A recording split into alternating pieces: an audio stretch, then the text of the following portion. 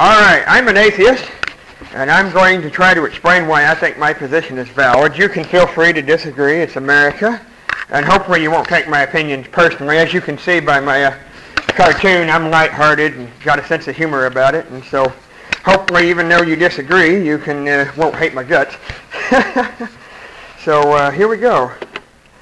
All right, what is atheism? A lot of people don't even know what atheism is. They uh, have all these misconceptions. We're communists, or we're America haters, or we hate Christians, or we're all uh, bigots, or, or obsessed, or you know all kinds of stuff.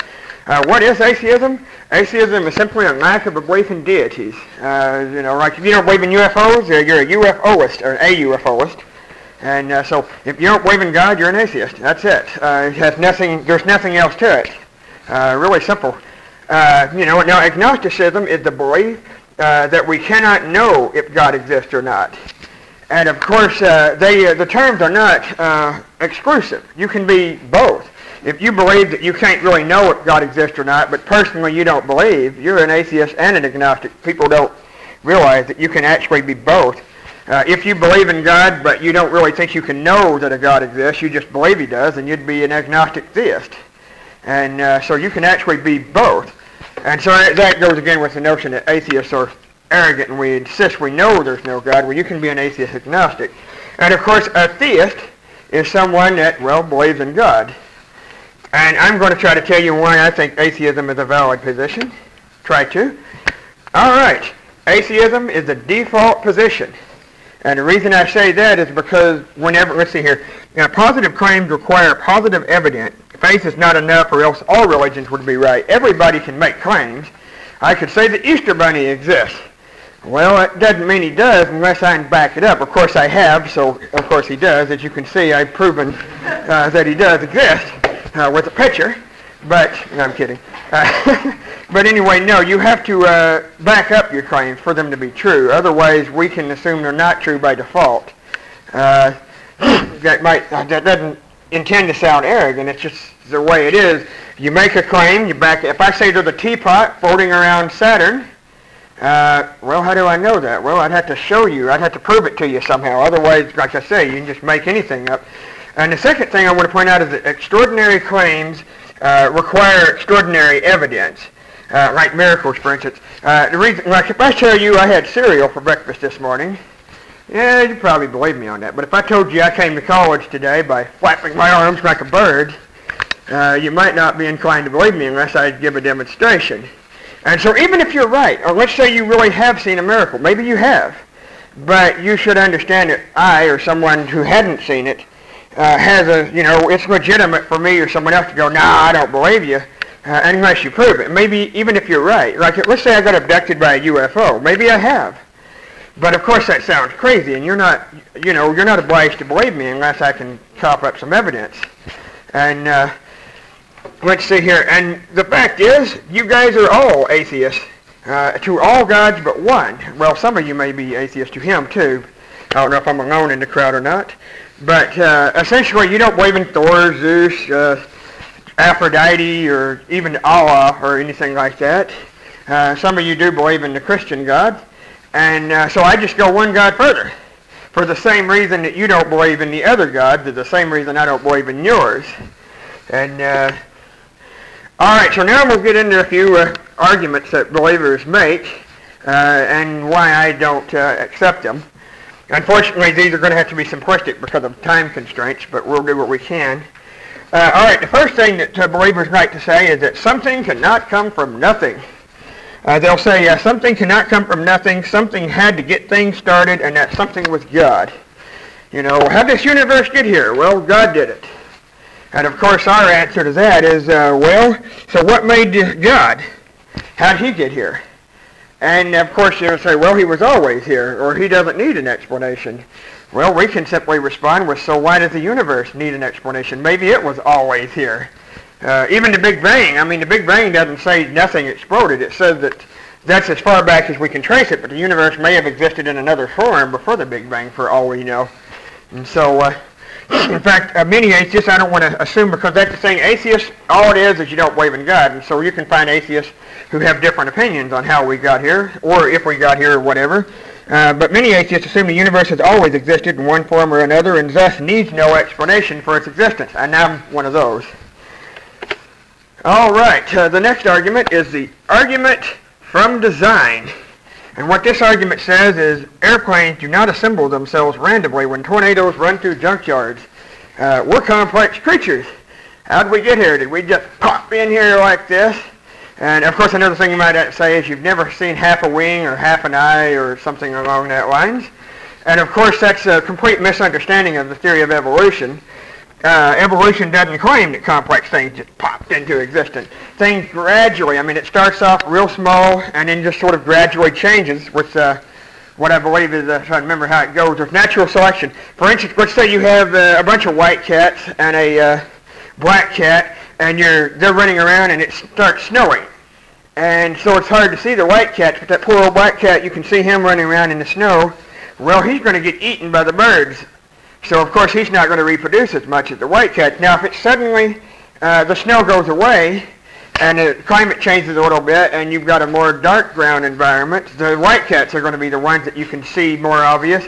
And so, of course, they're going to be the ones eaten by the birds, and the black cats will be reproducing more. And you see actual evidence of this happening with things like uh, back in the 1800s, there were more of a certain color moth. Uh, and whenever the Industrial Revolution hit England and the trees started becoming blackened with soot, the uh, dark moth actually started becoming more populated and uh, other moths. So evolution says things gradually change, and whenever you have billions of years, things change a whole heck of a lot. That's it.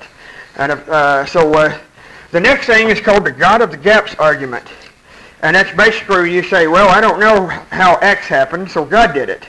And of course, we did this all throughout history. Uh, where does lightning come from? Well, God did it. Well, now we know, uh, well, it's a, you know, we got explanations now with science and clouds rubbing and creating static electricity and whatnot.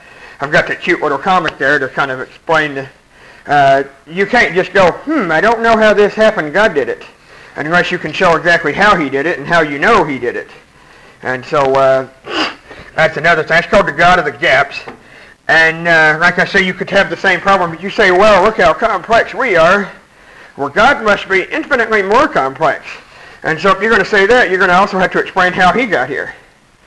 And the last thing, just sort of a cute thing, I thought. Uh, why do men have nipples? Uh, obviously, if God made us straight up, why would he give men nipples?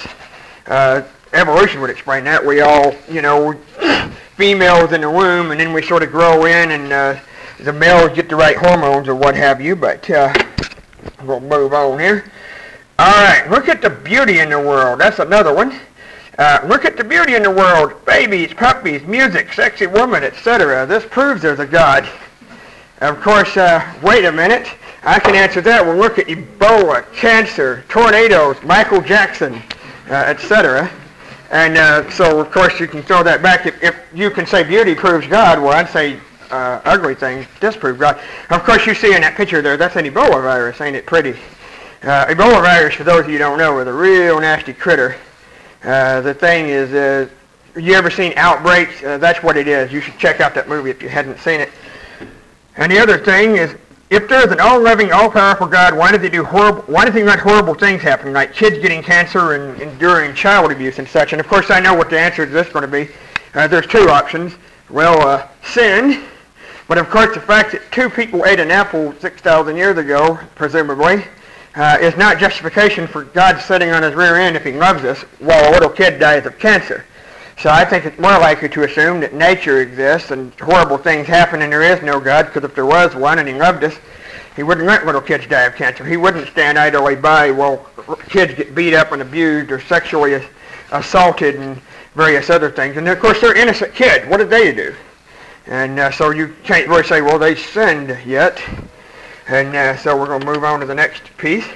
And the other one is miracles happen every day got a cute little comic. I don't know if that has anything to do with what I'm talking about, but I thought it was funny. Uh, anyway, miracles happen every day. Uh, God saved me from a burglar. God got me hired, saved my life in a wreck, healed me, or whatever. And of course, uh, we can go back to the other one. If you believe God got you a job or God, uh, you know, protected you from a burglar, well, wait a minute. So why did God protect you and not that little kid getting abused? Well, obviously, could it might be possible that you just got lucky and the kid didn't, and it has nothing to do with a God or not. Uh, you know, uh, essentially the claims of miracles are usually anecdotal, which means all you've got is your own word. Uh, yeah, I know so-and-so got healed of cancer, but you don't exactly have any actual evidence. It's just anecdotal evidence.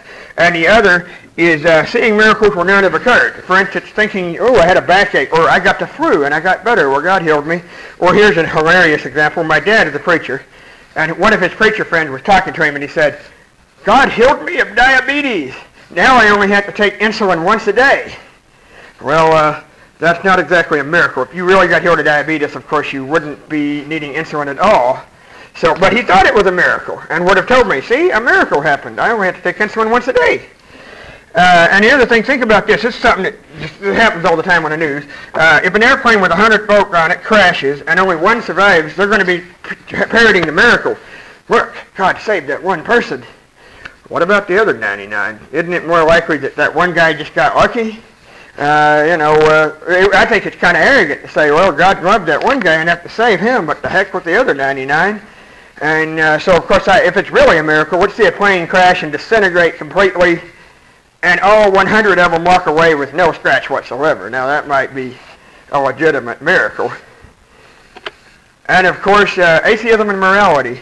A lot of people, they uh, will say to you, you know, uh, how can you have morality if you're atheist? You don't got the Bible or the Quran or whatever to follow. And, of course, I'm to get to that. Uh, you know, uh, you know, we're social animals. Uh, we evolved with things like empathy and a desire to cooperate because if we didn't, frankly, we would have killed ourselves off. Uh, you know, and just like we, I mean, dogs cooperate with each other in packs, and monkeys, and uh, ants, and bees, and so we're no different. And so we're moral to each other mostly uh, because we're just such a way evolved. And uh, the second thing to consider is you know, regarding morality is why are we moral? Are you moral just because you're scared of hell? Or are you moral because uh, you care? I got a couple of things here. I say, think about this. Do you help others because you care or because you feel compelled by commands? Uh, and why don't you murder people? Is it because you're uh, not a murderer? I mean, or are you scared of hell? Do you go around thinking, I wish I could murder, uh, but I'll hold back because I don't want to burn in hell? Or you just, you're not a crazy person that wants to go around killing folks? And the other thing is, morality either exists, uh, for instance, it's either right to do good to people or it's not, and if it's only right because some deity says it is, then that means morality is based only on his whim, and that means if he decides to say it's okay to rape people at random, suddenly it would be okay, and of course you would disagree. We would say uh, rape, raping people was wrong, period, whether God approved of it or not, which means morality is apart from a God if he existed or not, which means you don't have to have a God to be moral. And so the notion that atheists uh, are immoral, and in fact, here's another news bit. Uh, atheists are only like 1% of prisoners. And so we're actually quite uh, civil in our society, so we're not exactly an immoral bunch. And uh, that's it. Any questions? Nope. exactly how you feel.